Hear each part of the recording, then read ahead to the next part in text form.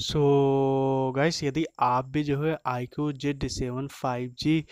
आप लेना चाहते हैं I Q Z seven five G out of stock बता रहा है आपको तो ये यहाँ पे आपको बता दो तो जो है आखिर किस डेट से जो है out of stock problem fix होगा I Q Z seven five G का तो यहाँ पे वही मैं आपको बताने वाला हूँ। यहाँ पे आप देख सकते हैं तो जो है इक्कीस मार्च को जो है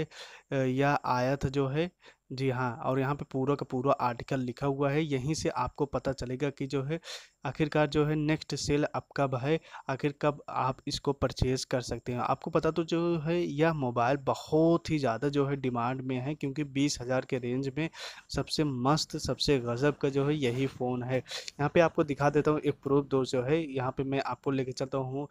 जो है अमेज़ोन पे आपको किसी भी फ़ोन का आउट ऑफ़ स्टॉक ख़त्म करना हो प्रॉब्लम फिक्स करना हो, आपको जानना हो तो सिंपली से जो है आप अपना जो है अमेज़ोन एप्लीकेशन ओपन कीजिए और वहाँ पे जो है उसको, वो एक बार जो है ऑर्डर कर दीजिए। यहाँ पे आप देख सकते हैं अराइविंग इक्कीस जून यानी कि जो है कल से जो है out of stock problem fix होने वाला है। जी हाँ कल से जो है iQOO Z seven five G out of